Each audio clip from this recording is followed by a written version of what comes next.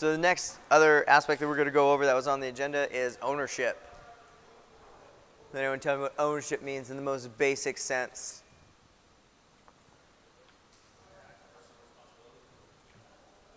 Right, it's like you're owning you're owning your world, right? You're owning your piece of the pie. It's a pretty simple aspect, but it's something that I think we miss the mark on a lot, as, as especially like young leaders, right? I think I'm not saying it always happens, but sometimes is it pretty easy to always blame your boss that something went wrong, or I didn't get this, or I wasn't provided that, or you know, you hear a lot of that, right? It's not like a sensing session. I just I'm just aware. I just know, right? Um, but that's not the mindset you need to have, right? The mindset you need to have is ownership, and that no matter what happens, you own your team, your squad, whatever element you own, and you're going to make it positive and you're going to make it good. Does that make sense? Especially out here, this is going to happen a lot. Where you're going to go out to a range and you're going to have this big plan set out, and then maybe the Polish are going to show up and we're going to get kicked off the range. Because why? This is, this is Poland, right? This is not America. So it's their country. If they want their land to train on, they're going to take their land and they're going to train on it. And we're not going to whine about it. We're not going to be upset about it. We're not going to complain about it, right? Because this is their country, this is their land. But it's something to think about in a mindset, right? It's kind of a mindset slash attitude when it comes to ownership, where if if it goes a little bit sideways on you, you're still responsible for everything. So whatever training that you had planned that got canceled, you still are responsible for doing that training. Does that make sense? You might need to adjust it. You might need to change where you do it. Maybe it's in the back of the barracks now because the land is gone. Or maybe it's out just right outside the gate on the flat range because the other big range is gone now, right? But that's the, the mindset of ownership is that everything that your team or does or doesn't do is because of you. Does that make sense? And you need to own everything that happens, right? So, like the BC said, I agree with him wholeheartedly 100% that the most important person in this battalion is the team leader. I have always felt that way. I will always feel that way. Out of all my combat deployments, I know for a fact that when it comes to combat, the team leader wins that fight every time. It's not the platoon leader, it's not the platoon sergeant, it's not the first sergeant, it's not the commander. The team leader wins the fight every time. Why? Because he's there. The team leader is the first fighting leader. He is the only fighting leader that is present in the middle of the battle. You were, it's the leader that is exchanging bullets with the enemy, right? The platoon sergeant, the first sergeant, the commander typically are not, right? Like the team leader is exchanging bullets with the enemy and leading that battle, right? The team leader decide, in my opinion, it's again just my opinion. It's not like army doctrine that says this, but it's the team leader that wins the fight every time. Now other people might disagree with me and that's fine. But just know like that's where I stand when I look in this room. And that's the mindset I need you guys to have too. Right? You need to understand that like if you go into battle, you decide whether you win or not. Not your squad leader, not your platoon sergeant, like not the first sergeant, because you're the one fighting. Does that make sense? Like you decide who wins this battle, not your your leaders. Does that make sense? And you need to have that mindset and you need to own that. You need to have that ownership to know is your team ready for that? Right? Who who can raise your hand and say my team's ready right now? Oh, so everyone in your team can do land nav on their own. Everyone in your team can shoot a javelin on their own. All right, well. Well, that's what I'm saying, but these are the things that you need to think about. That every single person in your team has to land nav by themselves. Every single person in your team has to be able to shoot a javelin. Every single person in your team has to do a call for fire mission on their own. Every single person in that team has to be able to do be an expert on all the weapon systems in that team. Like that's the standard you should all be striving for. Right? Is that what you're striving for? If there's ever a moment in time that you're not doing something, then everyone should become becoming working towards all of those things. Does that make sense? Like And that's the mindset you need to have. You need to have that ownership that if, if we fail at battle, it's because our teams failed. Does that make sense? Because that's the point of battle, right? It's not like the old days, right? And it's not going to be like first sergeant going to go battle their first sergeant, and then whoever wins like takes the takes the land, right? It doesn't work that way anymore. So, um, and again, so the big thing with ownership is like everything I just talked about. You own all of that. All those things that your team should be able to do, that's you. That's on you. And that's your responsibility. And there are no excuses. You can't give me any excuses. You have, you have time to do all these things on your own. Right? I know we have time out here. But this is what ownership breeds, right? You should have this thought process of complete ownership of your team. Does that make sense? Every single person in your team, every single thing that that per, like every single thing and its skill that can be achieved in your team is up to you. Does that make sense? And that again, so when you have ownership, it leaves no room for excuses. Right? You can't say, "Well, I wasn't afforded this training. I wasn't given the opportunity. I didn't have the chance to do that." Like all that does is just break down your character. Right? Your character as a person because ultimately like what I talked about earlier, like leadership is something we do, right? It's not a job. So it's like it's one of those things where it's like if I were to like remove my rank, like what is left, right? With uh, ultimately your rank is a piece of cloth, right? Weighs a gram, right? But what, what, what are you without it, right? Are you still a leader? Is it still something you can do? Is it still like something that you instill? Is it still something that you can, that you've built a character around yourself that people would follow you regardless of what rank you're wearing on your chest? Does that make sense? Like that's the mindset you need to build towards. And that's what you need to move towards. And ownership is a huge factor in that, right? Because ownership is going to build that character because you're not going to ever have an excuse. You're never going to blame somebody else because it's on you. It's 100% on you, no matter what. Just own it. You own it, you can move forward, you can learn from it. But you blame somebody, you shirk away what happened, you won't grow. You won't grow as a human. Does that make sense? Like, the more you lie and, like, just uh, alter the truth or um, embellish your achievements, like, you're not getting anywhere in life as, as a human, right? So, this thought process of ownership helps you build that character, and then you'll also gain the respect of your peers, superiors, and subordinates. Does that make sense? Um, and the biggest thing of all, I think ownership, it builds a team, right? Because if someone comes up to me and they say, hey, one of your team leaders just did this in your company, what do you think I say? What are you talking about? I promise you already, I live this principle. It's my fault. It's 100% my fault. Does that make sense? I own that, right? If one of my team leaders does something, Sergeant Major yells at me about it, that's on me, right? I don't say like, oh, screw that guy. Can't believe he did that. Terrible. Yeah, you know, it's not my fault, Sergeant Major. He's just a he's just a bad apple. He's a bad soldier. No, never once will those words come out of my mouth, and never once will I do that. Does that make sense? Because I get nowhere. I get nowhere. My organization gets nowhere. That soldier gets nowhere. But when I own it, like that's my fault, because technically it is, right? If I'm, I'm his leader, it's my fault. So then I need to be intentional and purposeful and to make sure this doesn't happen again.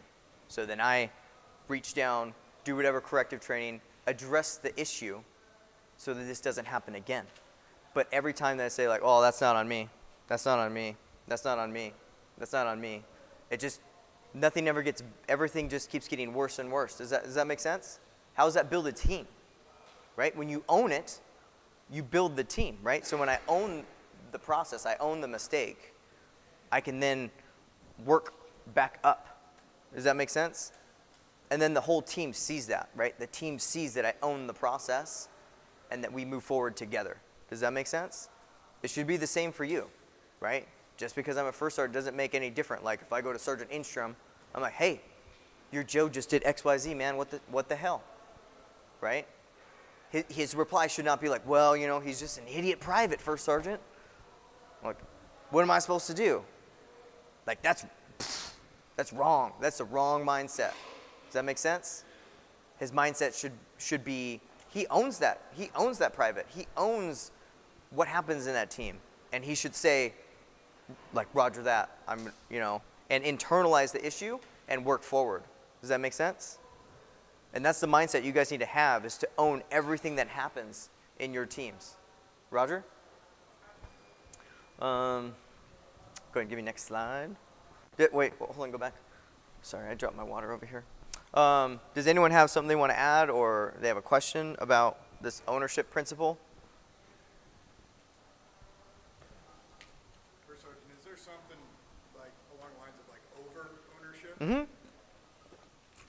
I like that. I like that because, so he said, did everyone hear him?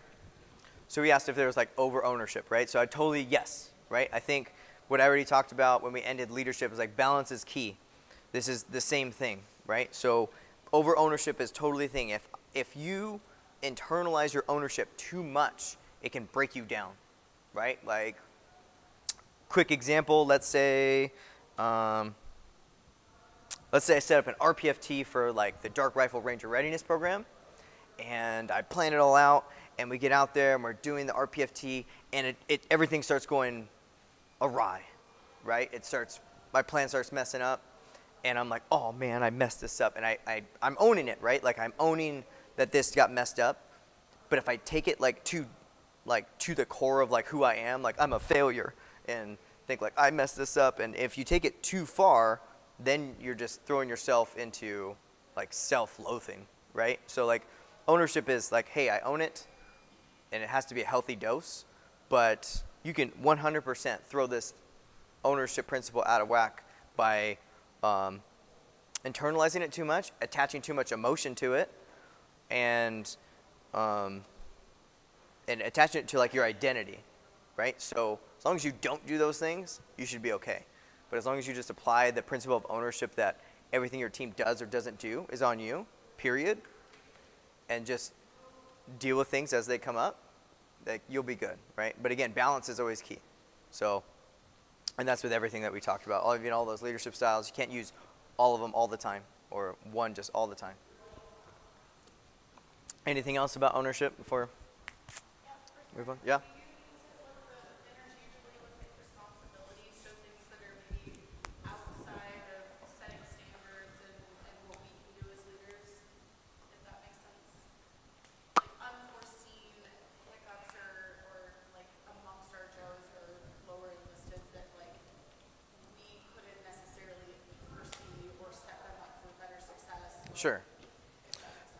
Right. So I would say when, so I think I understand your question. I'll try and address it. So I think what she's saying is like, like if you had something that came up um, totally out of your control, right? Like, um, like hurricane, natural disaster. I mean, like a, like that type of event, or if um, something just comes out of left field, then um, we still own the process in the sense that if there was something that we were going to try and do that was interrupted, we need to own the process to make sure that it is like has a get well plan or that we're making up for that. Does that make sense?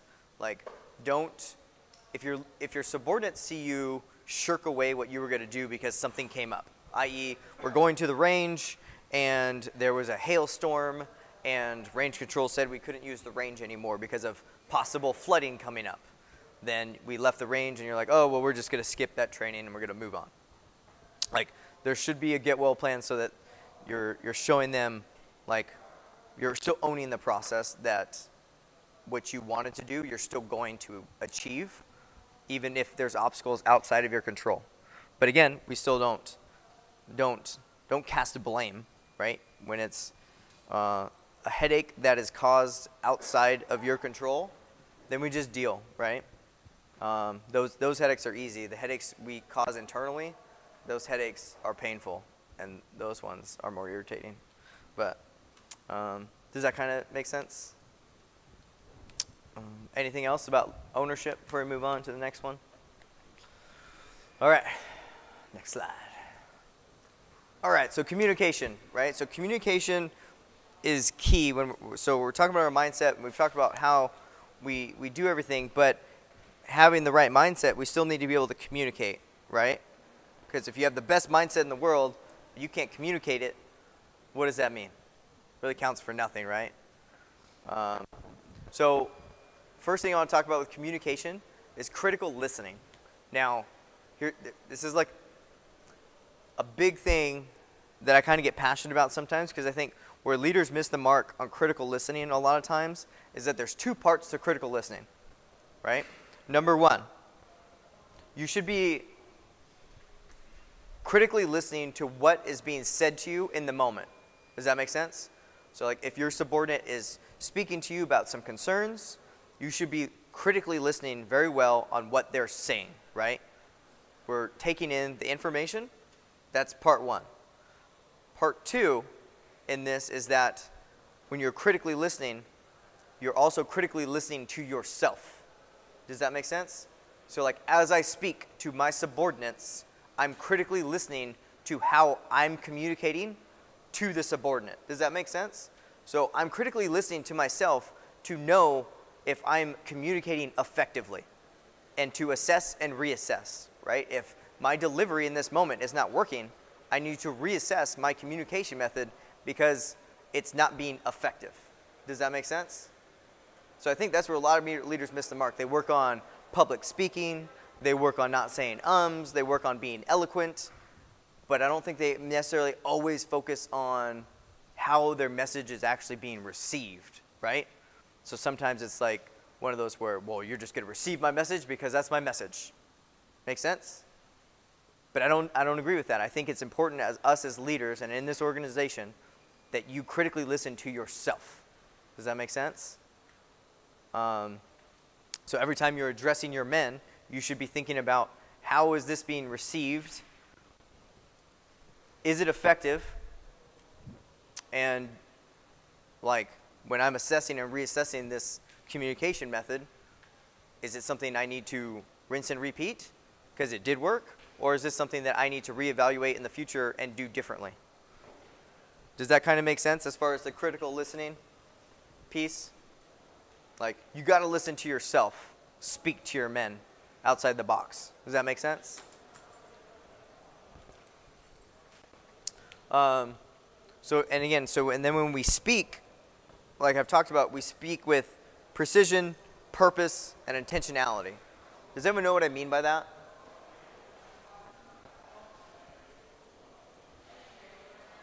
Like when we speak with precision, purpose, and intentionality, like what, what do I mean by that? Like when you're speaking to your Joes, what's up? It's, it means that you are you are communicating exactly your intent. You are um, I'm trying not to use the same words, but It's okay. what you're communicating to your Joes is exactly what you want them to carry out, and it's exactly what you have in mind to execute. Sure. Right? What else? Right. There's reason, purpose behind everything that I'm saying and how I'm saying it, right? So the what and the why. So I like that. But, um, so yes. And then also think about when you are delivering it, like how are you delivering it? Right? So speak about precision. It's kind of like the, the how, right? Kind of like what he was saying. It's like, how am I delivering this? So in the precision, i.e., as an example, um, I don't know. I don't know if everybody in this room's heard me yell, but I've yelled at times. And I don't yell for the sake of yelling, right? I don't yell because I'm an unstable human. I don't yell because I'm a yeller. I don't, right? I have a purposeful, precision, intentful purpose for why I'm yelling. Like, what does yelling achieve? Yelling grabs attention, it builds urgency, it shows intentionality, it shows purpose, it shows importance, right? There's, there's a purpose to it. right? I don't just do it because it's like what I do, right? You don't come into my office and I just yell at you, right? I don't just yell at my guys when I'm speaking to them, right? If I yell, it's because there was a specific reason and purpose, and the delivery in the loud voice builds those things we just talked about, right? Urgency, importance, speed, right? Because typically when you yell, you want something done fast, right? Correct? Like, if I was speaking to you all and I said, like, okay, so we're going to get up and you're going to exit the room and stack all the chairs in the corner, and uh, I will see you all tomorrow. And I'll walk off. Like, how quickly would you guys stack the chairs and leave the room? Like, probably just in a very natural, slow, lackadaisical, laissez faire way, right? But if I started yelling, like, hey, motherfuckers, get the fucking chairs in there, and started yelling, everyone would start moving really fast, right? Because it, it would create speed. Does that make sense? And I wouldn't yell because I'm just yelling to yell. It's because maybe I only have 30 seconds to have this room exit and I need everyone out here. Does that make sense? So there's purpose and there's intentionality. And I want you guys to always remember that. Like, um, it's kind of, um, it's kind of like the whole aspect of like read the room, right? You guys ever heard that before? Um, like, if you had one of your Joes that was crying in the corner would you just go yell at him or her? Like, why are you yelling? Why is this happening? Right? You could. You could, right? But what is, what is it achieving? Is it achieving a purpose that you want? Then Roger, right? Or maybe you don't know what's going on, so maybe it's kind of like, hey, let's come in, like, would you like to chat? Would you like to go for a walk? Want to tell me what's wrong? Right? So there's, it's that whole read the room and be purposeful and precise about what you're doing. Does that make sense? So um, there's like a, there's an end game to things. Does that make sense? Um, and so again, like I have up there, it's like it's always you have to assess and reassess. Like, is your communication method effective? Is the way that you speak and the way that you deliver uh, to your subordinates effective? And that's where you always have to assess and reassess this isn't working, try something new. Maybe that works better, right? Um, this is where counseling comes in. Maybe your squad leader has counseled you, someone in this room that like, hey man, you're really soft-spoken. I need you to get louder, right?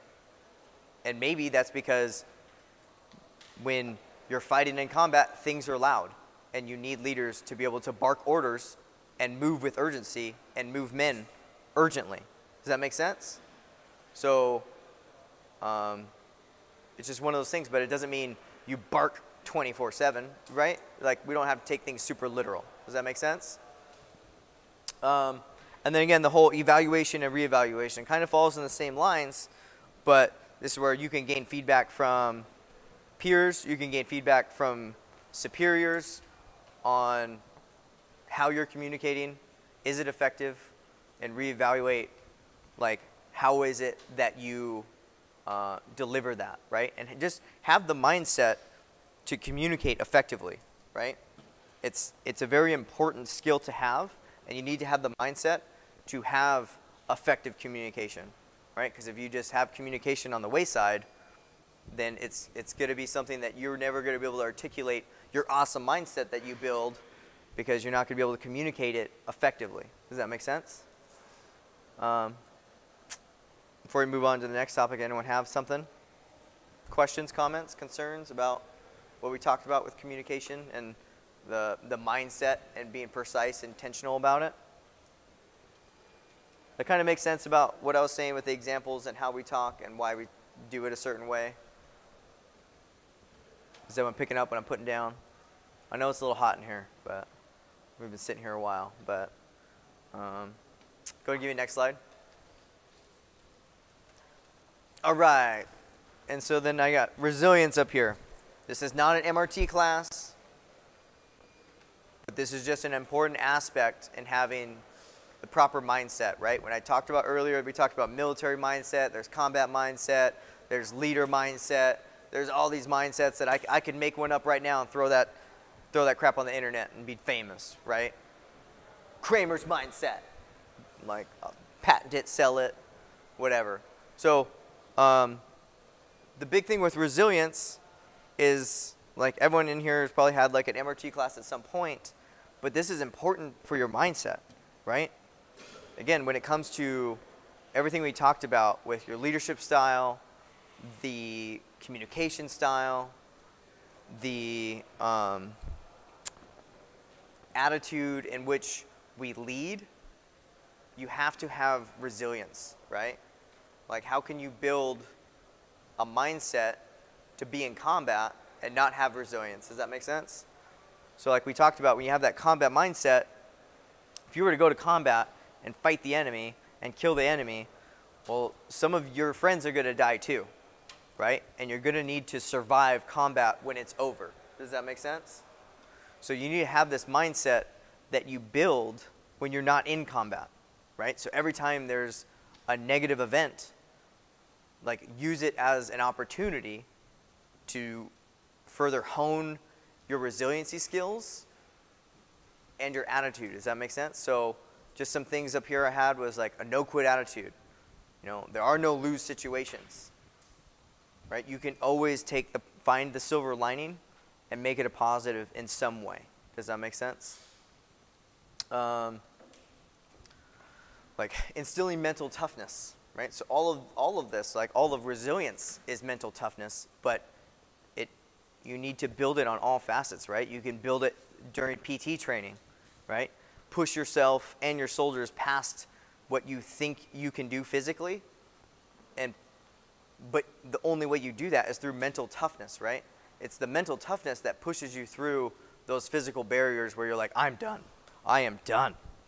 But you have someone or yourself that pushes you past that point. Now you're that much physically stronger, but you're that much mentally stronger now, too. Does that make sense? You're, you're equally sharpening your mind during PT as you are your body, as long as you're pushing yourself past that threshold of intensity where you think you're done. Does that make sense? Um, maintain perspective, right? This one, this one's huge for me. This one's helped me a ton.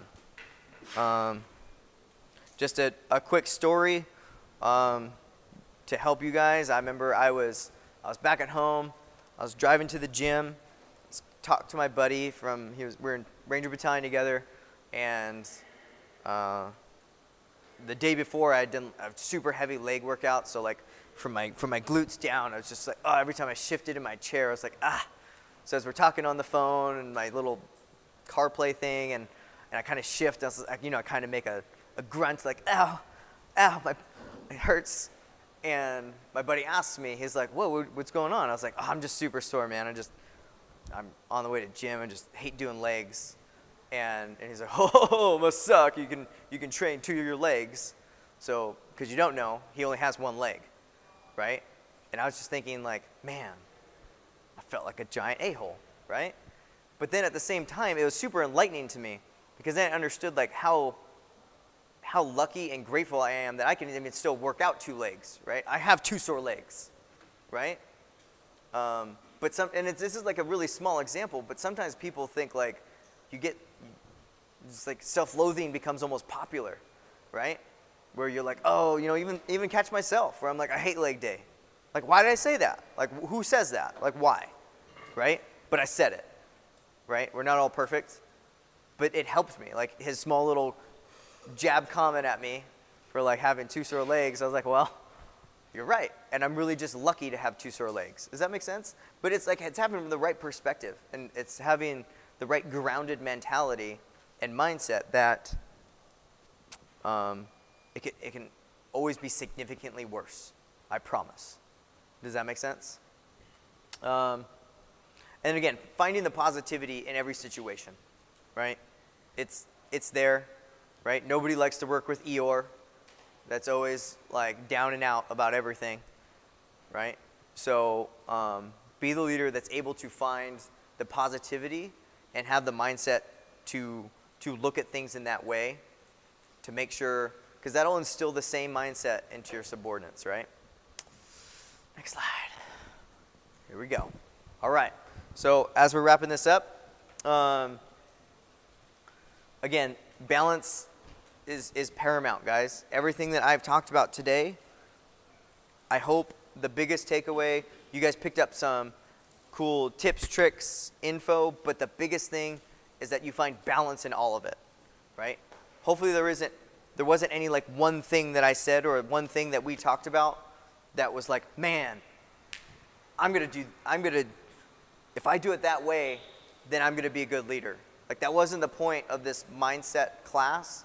Like the point is that you need to have the positive growth mindset combined with like a combat mindset and like applying all of these attributes together and finding balance and always using a little bit of everything. Does that make sense? So the biggest thing is like never think that there's a silver bullet to anything. Right? There isn't a silver bullet that if I if I do it this way, it's going to be good forever. Or if I act a certain way, this is going to work forever because there's not, right? Just like they say it all the time in fitness where like there is no like magic pill that makes you skinny and fit, right? It's the same aspect when it comes to leadership, right? That's your mind, that's your attitude, that's how you communicate.